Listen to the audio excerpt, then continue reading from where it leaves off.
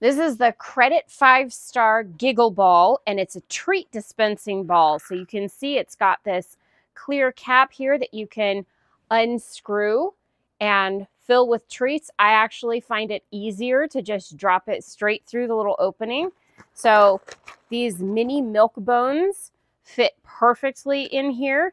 You just drop in as many as you want to, and then you give it to your dog and let him wiggle it all around and it makes these funny giggle noises and it's really great and it keeps them entertained for quite some time. Our dog likes to pick it up and bring it back to me so I can roll it for him.